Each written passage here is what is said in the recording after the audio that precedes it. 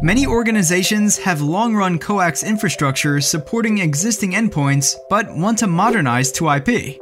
This results in the need to add many IDF closets to achieve the reach requirements, leading to risk, higher cost, disruption, network complexity, and security concerns, potentially compromising your business.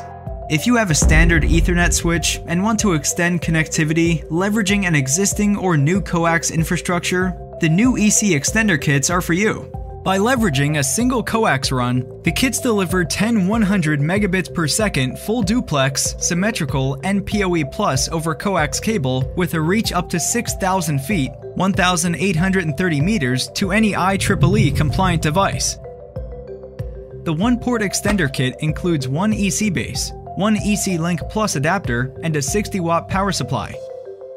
The 4 port extender kit includes the one EC base, one EC4 adapter, and a 110 watt power supply to locally power the EC4 adapter if additional power is required for all four endpoints. The EC4 allows you to enable four IP endpoints spanning 658 feet, 200 meters, from the EC4 location. 100 megabits per second, symmetrical shared by four IP endpoints over a single coax cable up to 3,000 feet, 915 meters away from the EC base extender.